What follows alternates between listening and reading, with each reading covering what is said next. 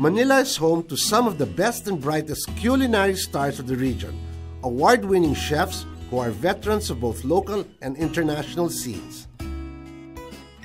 Manila restaurateurs are some of the world's best, reinventing flavors and crafting exciting new experiences for Manila's diners. As editor in chief of Metro Society, I always get the first scoop on new restaurants in Manila. As an avid foodie, it's such a joy to eat out. It even inspires me in my own kitchen. On this week's episode of EIC on the Move, I meet four of Manila's most talented chefs to try food experiences they're offering in partnership with American Express Amex for Foodies. Because you need not travel far to get world class cuisine. Join me as we meet chefs Robby Goco, Miko Aspiras, Josh Boutwood, and Chele Gonzalez as they show us their interpretation of modern Manila. As editor in chief of Metro Society, I get to wear many hats when creating the best stories for our readers. I produce, I write, I strategize, and I attend events. But the best part of my job is I get to travel. From Palawan, Cebu, Bali, Hong Kong, New Zealand, and to the rest of the world. We make this show so we can take you along on my journeys to see for yourselves what it is like to be in my shoes. I am Raul Manzano of Metro Society, and this is EIC on the Move.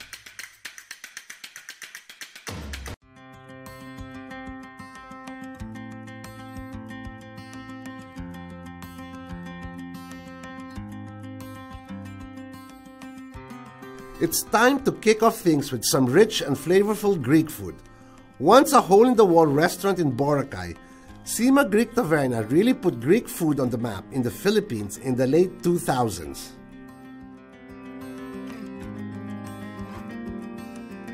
Robby Goco headed that restaurant and has since opened Green Pastures, Calle Brewery, and Souv by Cyma, where I meet him today.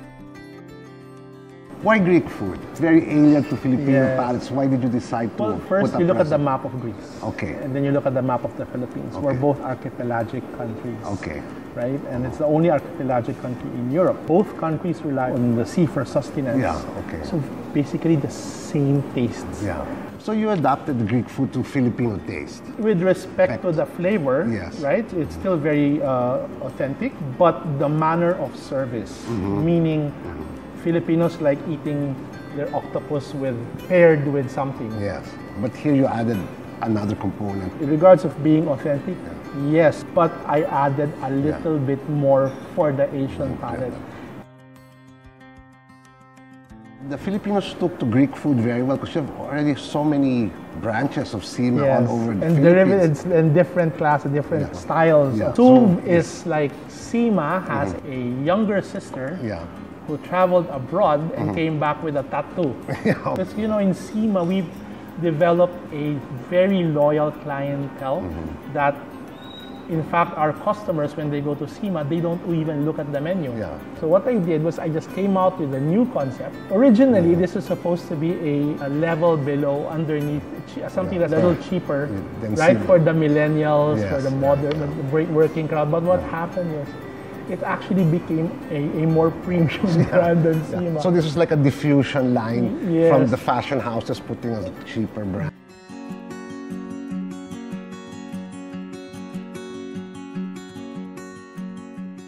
So I'm going to try some of it now. yes, okay? of course. Okay, this is my favorite salad. This one it represents the four flavors, Uh-huh. which is the taste, right? Yeah. So the sweet for the candied walnuts, Mm-hmm. Sour for the sun-dried tomatoes, Yeah.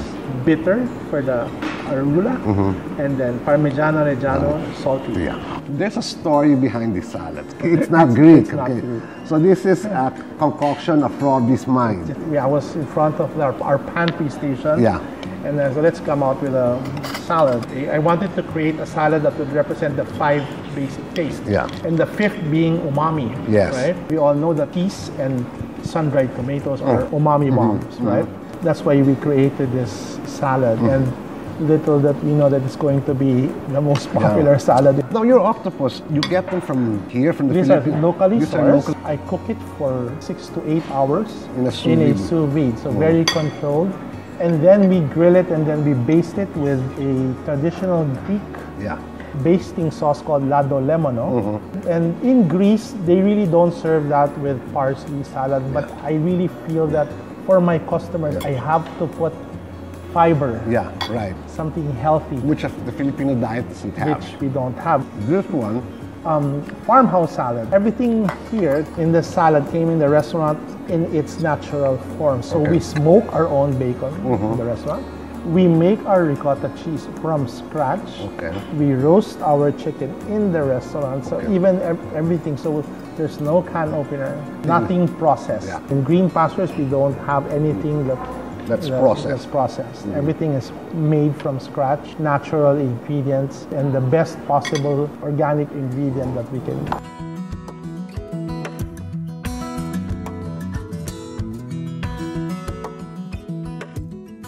Let's sum up again the partnership with American Express. Okay. You use your American Express credit card Yes. for a minimum of 2,000 pesos, single receipt. Yeah, okay. Right? For Suv, you, You get, get- my octopus. Yeah. We cook it for six to eight hours. It's very tender. And then for Sima, you get the most popular salad, the number one salad, Rodaroca Salata, salata. Which is not Greek. And my my farmhouse salad for, for green pastures. yeah. So which is a meal in itself. It's a meal in itself. With all the ingredients there. very healthy Mm-hmm. and high in fiber and incredibly delicious. Okay. So I'm going to start using my American Express card. Okay, great. Thank you, Robby. Thank you, Okay. Raul. Chef Robby really knows how to pack a hearty, flavorful meal. It's a hit.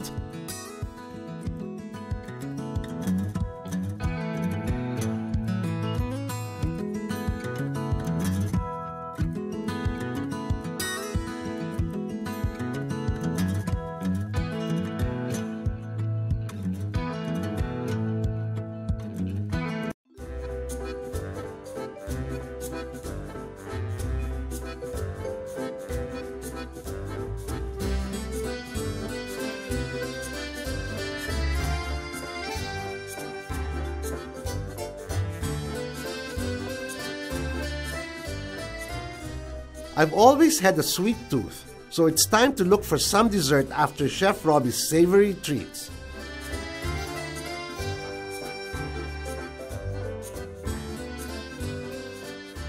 So what goes in the head of Miko Aspiras when you start creating this amazing desserts?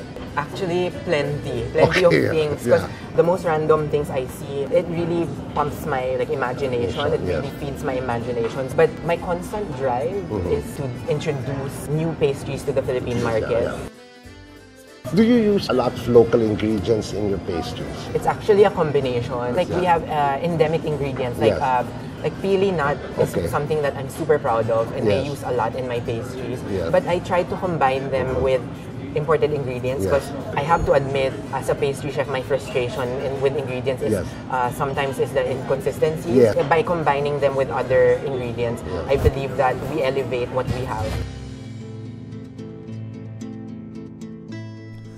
The pastry wonderkind behind Scout's Honor, Poison Coffee and Donuts, and his own restaurant Le Petit Soufflé, Chef Miko Aspiras crafts unique, savory sweet experiences that change the way you think of pastry. How do you come up with the concepts? I mean, oh, from one concept to another concept to another concept. I love to travel. Yeah. So and whenever I travel, I expose myself to the weirdest things, the Yes. things that normally some, a lot of people would just not try. I Yeah. would I would do it just for the sake of research. Yes. So I I really prepare myself for, for things like this, to opening restaurants. Uh-huh. So when my partners decide to give me a task, I'm ready for it. It's about staying ready. So, what is this I'm drinking? We have here some uh, guava juice Yeah. with our signature brewed iced tea and Yakult. Okay, so I need this because I'm jet Yeah. lagging Oh, right you now. need it. It's yeah, very yeah, for energy. Naman, uh, And this that one one is, is- Mm-hmm. a mixed berry iced tea. So there's uh, raspberry, there's strawberry, So I'm gonna have this. This is my favorite. But you hardly taste the Yakult, but there is Yakult. Yeah, there is, there is. Yeah, I, I don't want it to be too strong. It Yeah. has to be at the back. Yeah. When I think of flavors, there's a technical aspect to it. I look at it like a dish has to have like three flavor components. There has to be like a main component, a backgrounder, and a support. So Yes. in this case, the guava is the main. The main. The iced tea is the support, and The the Yakult. the Yakult is the backgrounder. This is excellent. This Thank is you very yeah. much.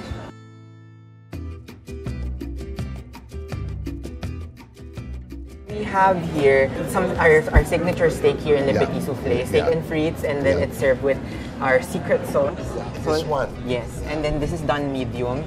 And then we have here some desserts that you you'll be able to get if you use your American Express card. Okay, wow. Here in Le Petit Soufflé, if you spend a minimum of 1,500 pesos, you get a secret soufflé, Yeah. something that we don't normally do here. Yes, it's a okay. flavor that is very special. That's why it's called secret. You won't tell me what it's made Ah, you'll figure it out. Okay, sige, ah. And then for workshop, it's my bake shop in the grid. Yes. Mm-hmm. Uh, we have here some. It's an entremet. So you just uh, it's uh, layers of mousse and passion fruit and mango. And then you just need to spend 500 pesos In using the your grid. yes, using your American Express card Yeah. at the grid, and you get one. Oh, wow. Something It's exciting generous. now. So I'm going to try your steak. Yes, now, huh? So this is done medium. Medium, And then yeah. there's the. So the- you pour the sauce. sauce all over? Just You can dip it. Like, Yeah, okay. It's good e- even without. The steak is uh, really tasty. Yes. simple, but Yeah.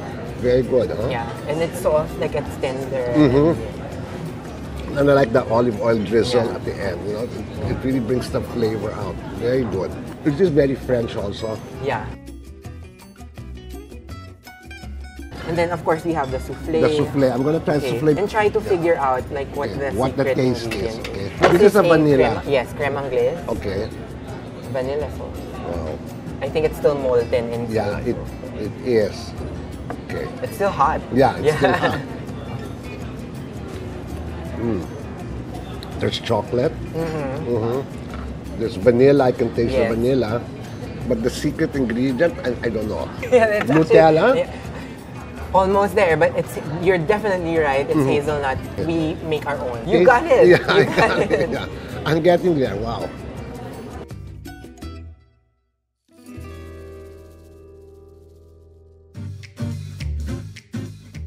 And this is the famous Miko Aspiras Yeah, chocolate. the 17 layer.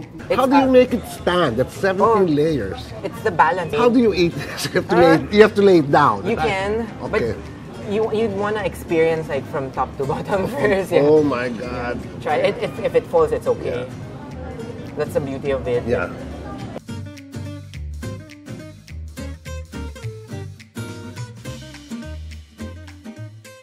This is the this is the cake that I always order. Ah, thank It's you. So good. And then here we serve it with whipped cream cheese. Mm-hmm. I just feel like it balances the darkness of the chocolate.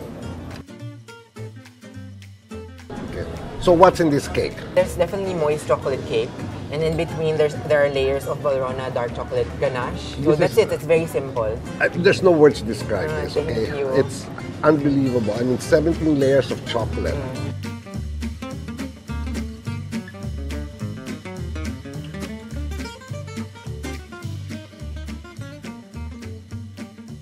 And this one, what is this? And then lastly, this is actually something new uh, uh, from workshop at the grid. Mm-hmm. yeah. So my my bake shop is turning to be like um, the Ex- next bakery. Yeah. Like it's a lab for me, but at the same time, I'll, we get a lot of patrons already Yeah. that Mm. are looking for. Uh, a cake that they can bring home Yes, that can yeah. be their next birthday cake Yeah, for yeah. for the family. Yeah. This one is caramel, mango, and passion fruit mousse. Okay. It's entremet. Entremet. Entremet. Okay. It's So so, French. Yeah, it's very French. You were Yeah. just there. You can taste the passion fruit. Yeah, it, definitely. It's Yeah. very tart, but, yeah, very tart. Yeah. but there's strong flavors. You use local passion fruit. Oh, Always imported You- also. yeah. okay, so you both. But, Chef Miko, you know, American Express doesn't just partner with any Yeah. any other restaurant. I think the best pastry chef here. you, gosh. Thank you so much. So, what Thank would you. want the members to take out from using their American Express card in your restaurant? First of all, I want them to experience my dessert in a Yeah. new way because Yes. these are exclusives. Yes. Uh, but then number two, I just want them to take advantage of it because okay. we, we're giving it for free. Just Yeah. use it. Yeah, so it's perfect. I have no words to explain what they ate. I mean, it's incredible. The, the pastries. Thank you. Thank you again Thank you very much. much. Chef Thank you for having thank me. you Thank so you. much. Thank you so much.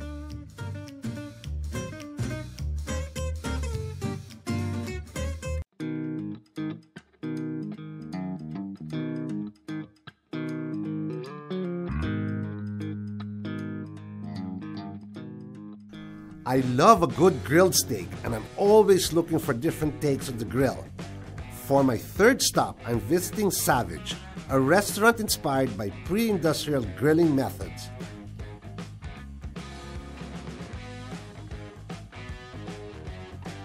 So, how did you get into the culinary scene, the food scene? Well, both my parents had hotels and restaurants, so I was, I was kind of born into it. Yes. Although not the original path I was going to take. what Um, were you planning to do? The... I wanted to be a pilot and or an architect. Wow. But you know, at the end of the day, my love affair is with cooking.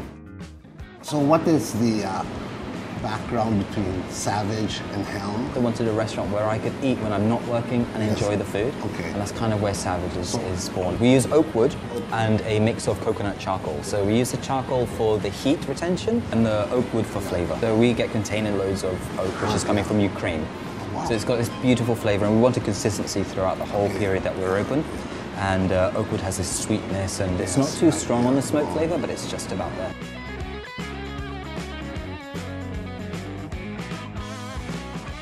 Everything on the menu touches the grill one way or another, whether it be the main ingredient or components that go with it. Yes. Um, and that way the smoke flavor transfers into the dish. The creative mind behind Helm, The Test Kitchen, and Savage is Josh Boutwood. He crafts inventive culinary experiences by experimenting with ingredients and preparation methods. What are the favorite dishes here at the restaurant? So honestly, um, I can tell you what my favorite are, Yeah, mhm. but it's quite interesting how different guests order. Yeah. But my favorites are the tuna jaw, which is you know Yeah, this enormous jaw of The a tuna, panga, yeah, the right? panga, Oh. and it's grilled. It's got this. Uh, we run five different marinades in the restaurant, Okay. and we're not very inventive when it comes to the names. It's M1, 2, 3, 4, Okay, 5. Okay, um, so this uses M4, um, which has got a little bit of lime leaf, soy base. And it's very sweet and tangy at the same time, and of course mix that with a very dark meat of the panga, Oh, or the fish. It's a, it's a it's a match made in heaven with a miso emulsion, so you get the savouriness. You know, short story. I was laughed at when I was going to put those on the menu. When I was when Savage was just a twinkle in my eye, Mm-hmm. I said I'm going to have deviled eggs on the menu because it's really close to my heart. Yeah. It's a childhood thing for me. Yes, right. And uh, they, they were saying it's a, it's a funeral food, it's all of this, it's all of that. But uh, that has become our, dare I say, signature dish.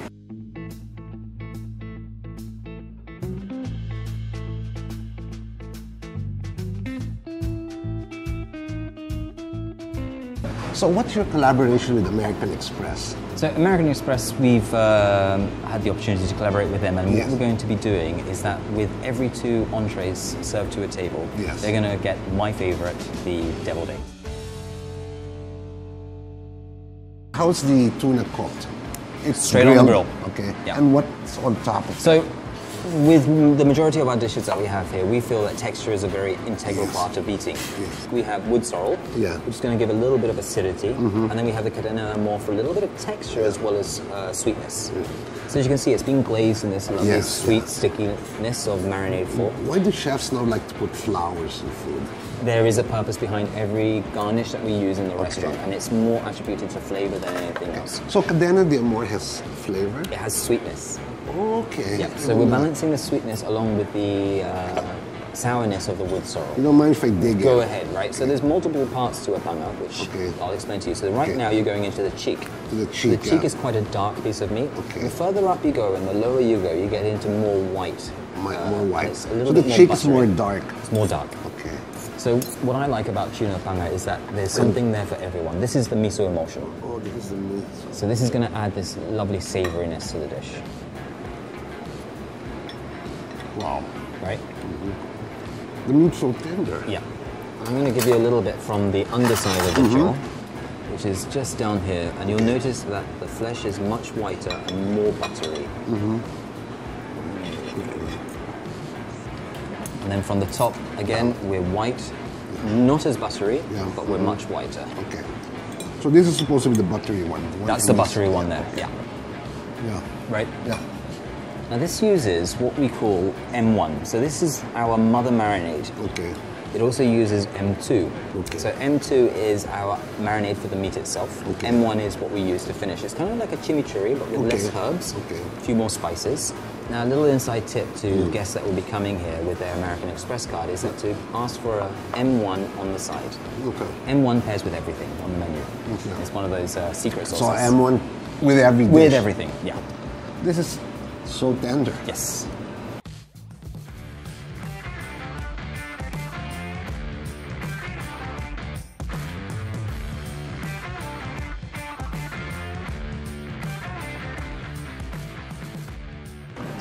Now I have to try the, Now, the of course, price our, dish. our, yeah. our deviled this eggs. is the yeah. American Express uh, bonus this, dish. This, I think, is, uh, you know, I, I hate the word signature. no, I love deviled eggs.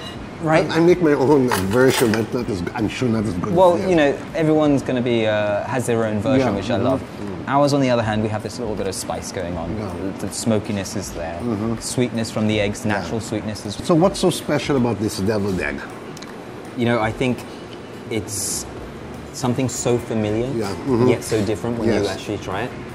You know, you, you'll notice that it has so many levels of complexities in it. It's not just egg yolk with Mm-hmm. Mayonnaise and mustard That's and paprika. There's probably about 15 different ingredients that, That are go going into this dish. one dish. Wow. Yes. This is so good. And that's why we feel it's the perfect match for the American Express promotion that we're doing. The culinary scene is very fast-paced. It is. How do you keep sane?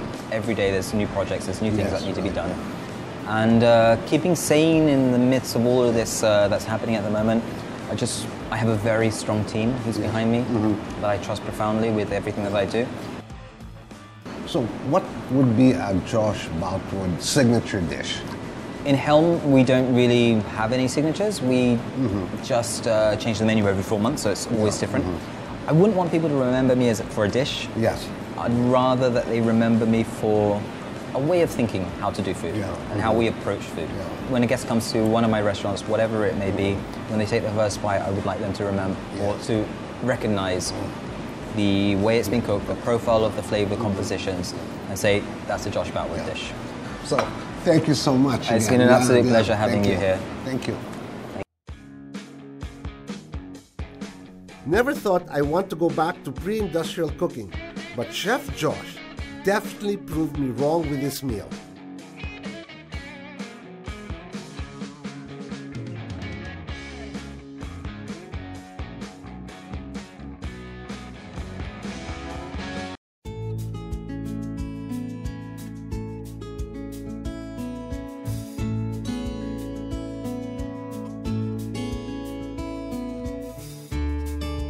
Continue my trip through four of Manila's finest restaurants, I simply can't pass up on a great Spanish inspired degustation.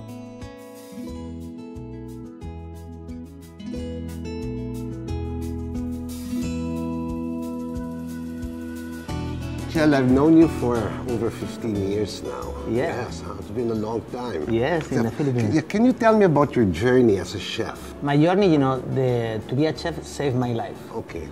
I used to be a very immaculate party animal. I used to have a club. I used to be a DJ. You know, I was the king of the night, you know. then with 22, 23, I sold it. Yes. I got a good money, and mm-hmm. then I paid my culinary studies Okay. in Bilbao, in Yeah, Archanda. yeah. And then, you know, the cuisine give me, you know, the passion, the love. You know, mm-hmm. if I have a problem, Yeah. go to the restaurant, go in Yeah, the kitchen. yeah. It's, it's then. Yeah, you know, it- it's, it's always a reason Yeah, to. all your problems disappear as, as, as you cook, right? Yes. How do you decide how what to cook and what ingredients to use? Well, for me, uh, it was a very simple idea. Okay. You know, I'm in the Philippines. This is where I live. This is my home now. Yes.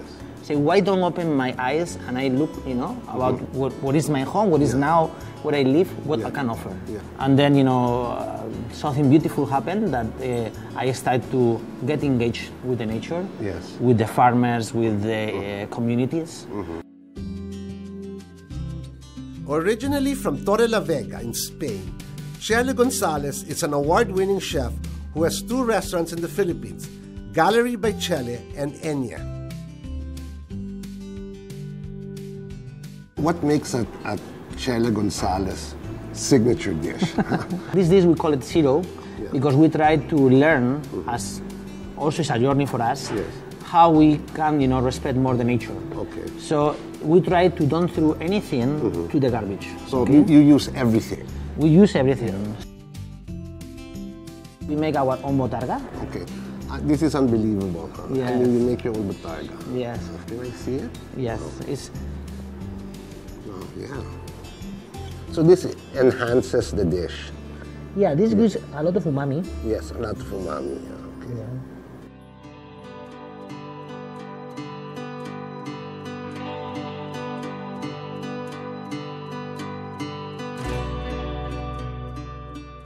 You've tied up with American Express. So what is the bonus? Look at this. Cheers. this is the bonus. this is the bonus. Wow. What drink is this? Let's call Mark, our Okay. mixologist. Yes. Mark, please join us. What is in the drink? So um, basically, the drink is made of pisco, Pisco. yeah, and um, infused blue pea flower into syrup. Okay. And then we add some a little bit splash of lime, Okay. and then a rosemary seed. Cheers. Cheers. Thank you, Mark. Enjoy. Yeah.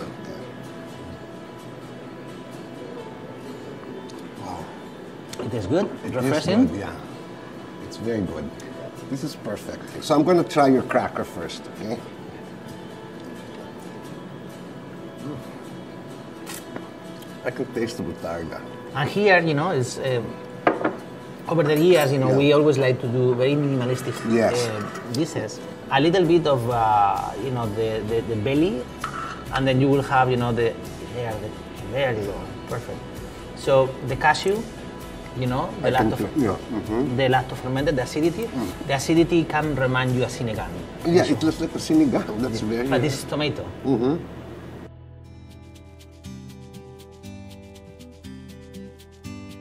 It's always great dining with Chef Chele.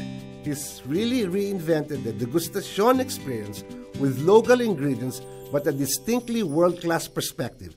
A fantastic finish to this food trip.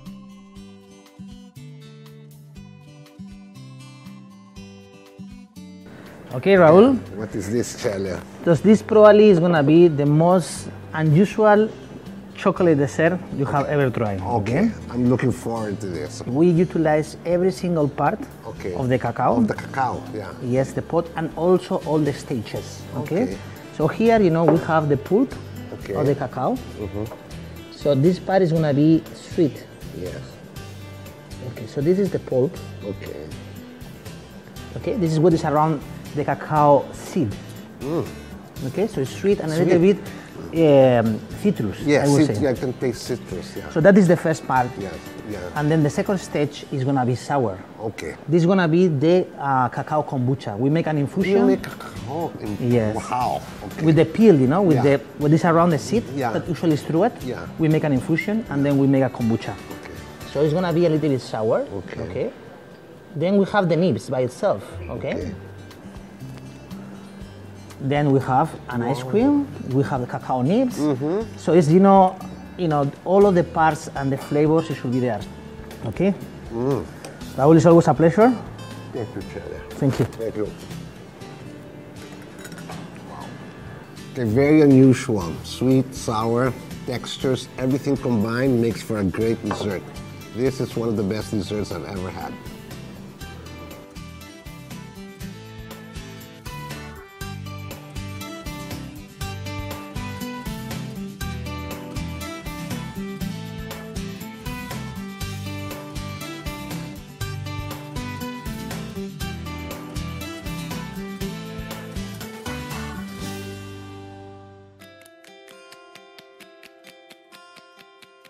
Four chefs, Robby Goco, Miko Aspiras, Josh Boutwood and Chele Gonzalez are just the tip of the iceberg when it comes to the Manila food scene.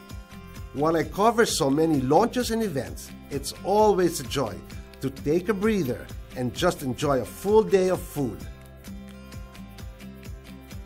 Modern Manila has so many delightful culinary treats, and I'm so glad I got to share the Amex for Foodies experience with all of you. Till next time, I am Raul Manzano, Editor in Chief of Metro Society, and this is EIC on the Move.